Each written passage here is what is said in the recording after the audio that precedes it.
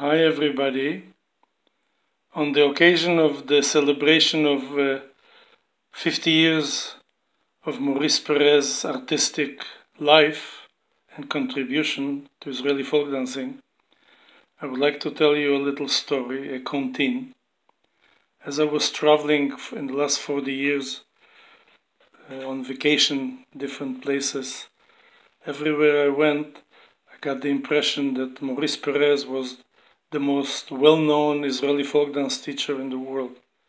Because everywhere I went dancing, whether it was Amsterdam or Prague, or London or Paris or Jerusalem, Tel Aviv, Beersheba, anywhere I went, if the local teacher asked me where I'm from and I told them I'm from Montreal, they always said, Oh, so you're dancing with Maurice Perez.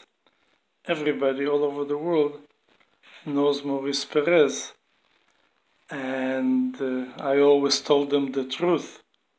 I said that when I started Israeli folk dancing, my beginner classes were with Maurice Perez. He taught me Kuma Echa, uh, Al Tira, Zemeratik. We are so fortunate to have Maurice Perez in Montreal.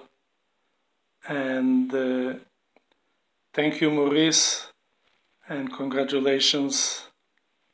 And uh, I'm sending this uh, video just in case I can't make it because I have some emergency I have to attend to in Ottawa with my daughter.